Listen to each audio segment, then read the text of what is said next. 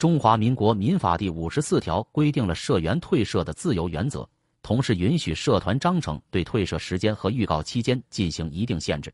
以下是条文内容，详细解释和例子。条文内容：条文一，社员得以随时退社，但章程限定于事务年度中或经过预告期间后，使准退社者不在此限。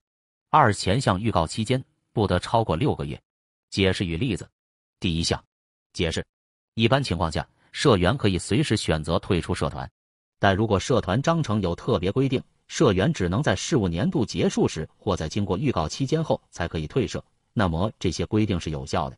例子：社团议的章程规定，社员可以在每年十二月底前申请退社，且需要提前三个月书面通知社团。一、随时退社，社员 F 想要在五月份退出社团 E，根据第五十四条第一项，社员一般可以随时退社。但由于章程有特别规定，F 需要按照章程要求提前三个月通知社团。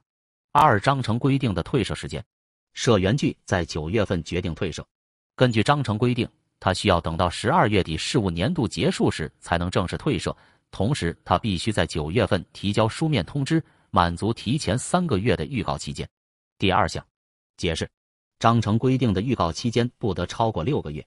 例子。假设社团 F 的章程规定，社员退社需提前六个月书面通知。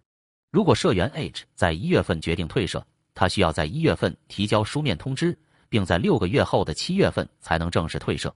总结：中华民国民法第五十四条保障社员的退社自由，同时允许社团章程对退社时间和预告期间进行一定限制，以维持社团运作的稳定性。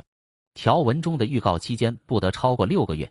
这样的设计在保障社员自由的同时，也兼顾了社团的管理需求。